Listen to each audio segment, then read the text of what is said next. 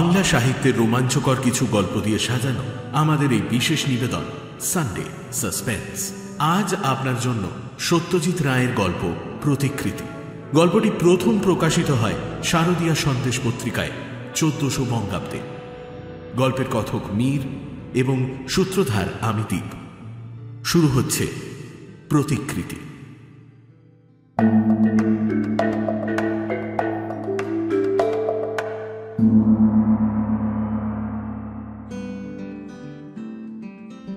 রঞ্জন পুরকায়স্থ, কলকাতার একজন নামকরা চিত্রকর। শুধু কলকাতা কেন? তার খ্যাতি পশ্চিম বাংলার বাইরে সারা ভারতবর্ষেই ছড়িয়ে পড়েছে। বোম্বাই, মাদ্রাজ, দিল্লি, ব্যাঙ্গালোর, হায়দ্রাবাদে তার আঁকা ছবির প্রদর্শনী হয়ে গেছে। ছবি বিক্রি করেই পুরকায়স্থ মশাইয়ের রোজগার এবং সে রোজগার রীতিমতো ভালো। গত মাসে বোম্বাইতে তার একখানা অয়েল পেন্টিং পঁয়ত্রিশ হাজার টাকায় বিক্রি হয়েছে। পুরকায়স্থ মশাইয়ের আঁকার ঢং যাকে বলে আধুনিক, তার সঙ্গে বাস্তব জগতের সাদৃশ্য সামান্যই পাওয়া যায়। তার মানুষগুলিকে মনে হয় অক্ষম কারিগরের হাতে তৈরি পুতুল। গাছগুলিকে মনে হয় খ্যাংরা কাঠির ঝাঁটা। আকাশের মেঘগুলিকে মনে হয় ভাসমান মাংসপিণ্ড। আর তার পশু পক্ষীর সঙ্গে প্রকৃতি বা চিড়িয়াখানার মিল নেই। কিন্তু আজকাল এই রীতিতে শিল্পরসিকরা অভ্যস্ত।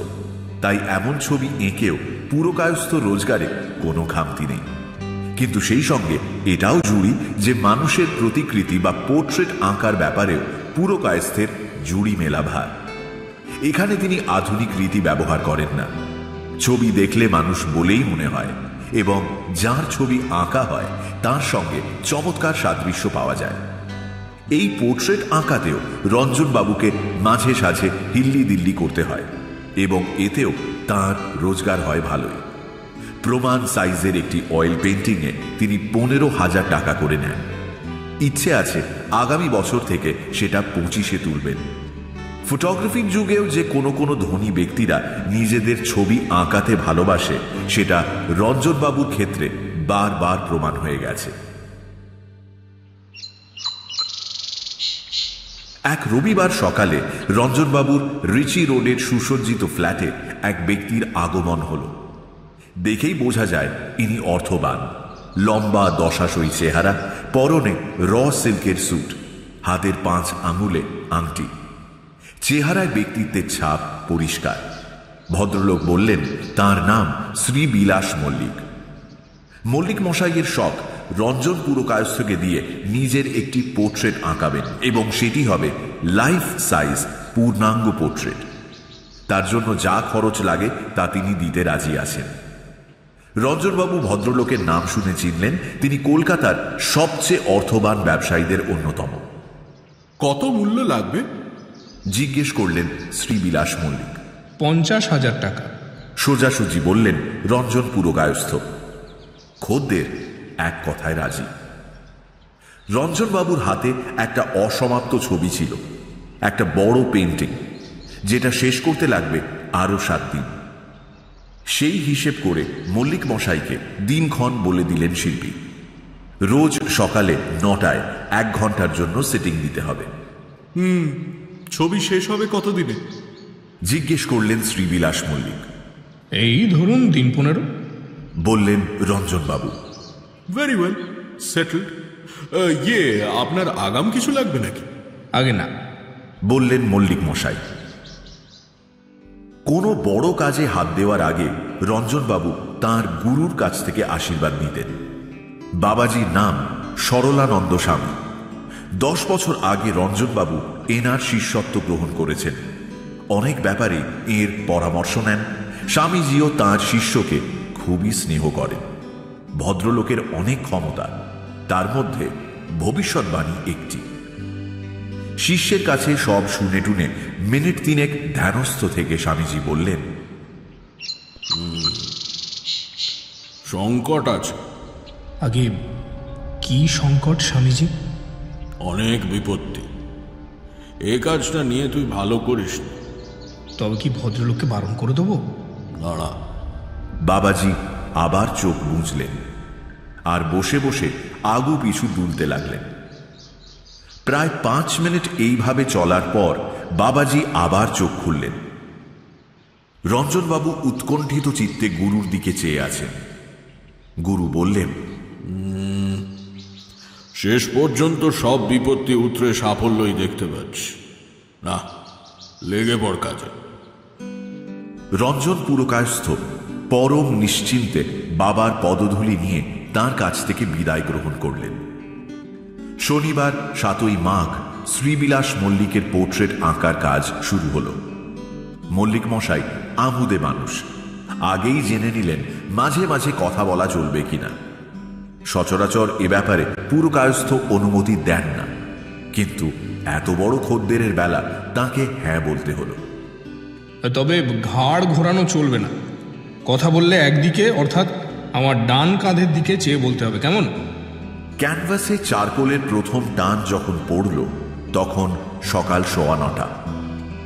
দিনে দিনে ক্যানভাসে শ্রীবিলাস মল্লিকের চেহারা ফুটে উঠতে লাগল। অত্যন্ত নিপুণ শিল্পী, তাতে সন্দেহ নেই। তবে এই অবস্থায় তার কাজ দেখার লোক একমাত্র শিল্পী নিজেই। যার ছবি আঁকা হচ্ছে, তিনি দেখবেন ছবি একেবারে শেষ হলে। এই শর্তটার কথা আগে বলা হয়নি। মল্লিক মশাইও এই শর্তে আপত্তি করেননি। বারো দিনের দিন পোর্ট্রেট যখন প্রায় হয়ে এসেছে, তখন সেটিং দেওয়ার মাঝখানে আধ ঘণ্টার মাথায় শ্রীবিলাস মল্লিক বলে উঠলেন, তার মাথাটা কেমন যেন ঝিমঝিম করছে। রঞ্জনবাবু কাজ থামিয়ে দিয়ে বললেন, আপনি তাহলে বাড়ি চলে যান। আর তো প্রায় হয়েই এসছে। কাল সুস্থ বোধ করলে আবার আসবেন। কিন্তু পরদিনও সুস্থ বোধ করলেন না শ্রীবিলাস মল্লিক। শুধু তাই নয়, তার জ্বর এলো প্রায় একশো তিন ডিগ্রি। তিন দিনের দিন বোঝা গেল, ব্যারাম গুরুতর। নার্সিং হোমে চালান দিতে হবে রুগীকে। রঞ্জন পুরকায়স্থ ইজেল থেকে পোর্ট্রেট নামিয়ে পাশে সরিয়ে রেখে একটা আনকোরা নতুন ক্যানভাস চাপিয়ে তাতে আধুনিক ঢঙে একটি ল্যান্ডস্কেপ শুরু করলেন। দেড় মাস নার্সিং হোমে থেকে ব্যারামমুক্ত হয়ে শ্রীবিলাস মল্লিক যখন বাড়ি ফিরলেন, তখন তার চেহারার সঙ্গে আগের চেহারার কোনো মিলই নেই। ওজন নব্বই কিলো থেকে নেমে হয়েছে বাহাত্তর। গাল বসে গেছে, চোখ কোটরে ঢুকে গেছে। রঞ্জন পুরকায়স্থকে খবর পাঠালেন, ছবি এখন থাক। চেহারা আরেকটু ভালো হলে আবার নতুন করে সেটিং দেওয়া যাবে। এক মাস পরে শ্রীবিলাস মল্লিকের চেহারা আরেকটু ভদ্রস্থ হল। তবে আগের চেহারার সঙ্গে এখনও কোনো মিল নেই।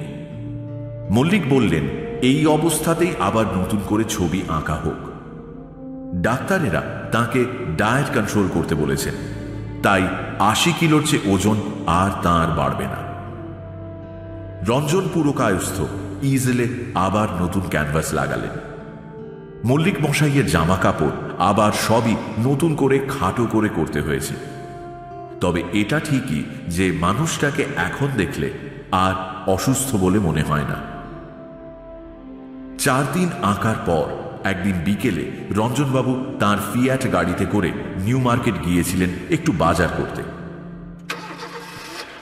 বাড়ি ফেরার পথে পার্ক স্ট্রিটের মোড় ছাড়িয়ে খানিক দূর যেতেই একটা মিনি বাস দ্রুত বেগে বেপরোয়াভাবে এসে তার গাড়ির ডান দিকে মারল ধাক্কা। গাড়ি তো ড্যামেজ হলই। সেই সঙ্গে রঞ্জনবাবুর ডান হাতটা গুরুতরভাবে আঘাত পেল। হাসপাতালে গিয়ে এক্স রে করে দেখা গেল, কোনই গেছে, কবজি গেছে, আর বুড়ো আঙুলটাও গেছে।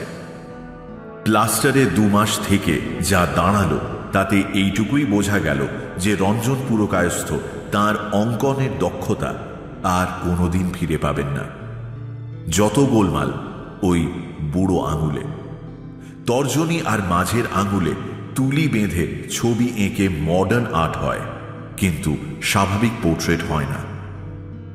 রঞ্জনবাবু এতই ঘা খেলেন যে তিনি কাজকর্ম ছেড়ে কিছুকালের জন্য তীর্থ ভ্রমণে চলে গেলেন। তিন মাস কাশী, হরিদ্বার, ঋষিকেশ লক্ষ্মণ ঝুলা ঘুরে বাড়িতে ফিরে ওই দুই আঙ্গুলেই আবার ছবি আঁকা শুরু করলেন। তার ফলে কাজ ঢিমে হয়ে এলো। ছবির চেহারাই পাল্টে গেল। এ ছবির জন্য আর তিরিশ পঁয়ত্রিশ হাজার টাকা চাওয়া যায় না। রঞ্জনবাবু বুঝলেন যে তাকে আবার নতুন করে বাজার তৈরি করতে হবে।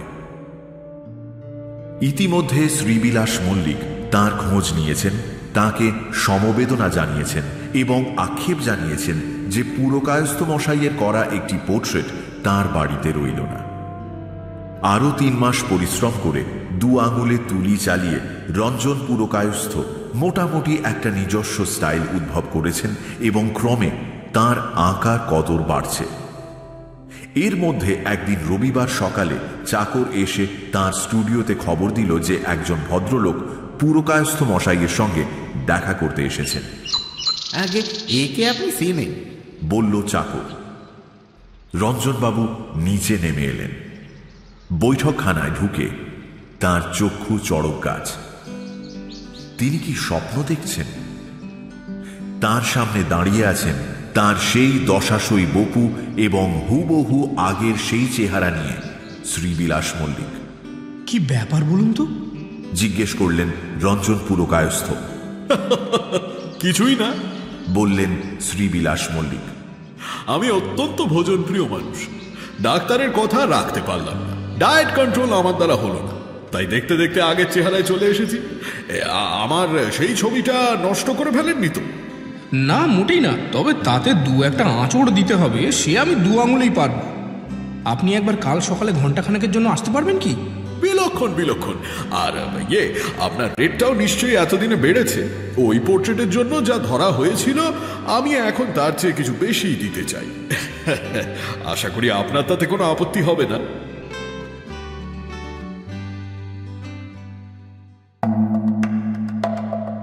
সানডে সাসপেন্সে আজ শুনলেন সত্যজিৎ রায়ের গল্প প্রতিকৃতি। গল্প পাঠে মীর। রঞ্জন পুরকায়স্থ চরিত্রে সোমক।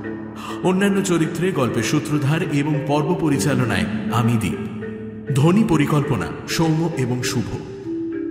পোস্টার ডিজাইন অ্যাস্টারিস শেষ হল প্রতিকৃতি। সামনের সপ্তাহে আরও একটি রোমাঞ্চকর গল্প নিয়ে হাজির হবে সানডে, সাসপেন্স।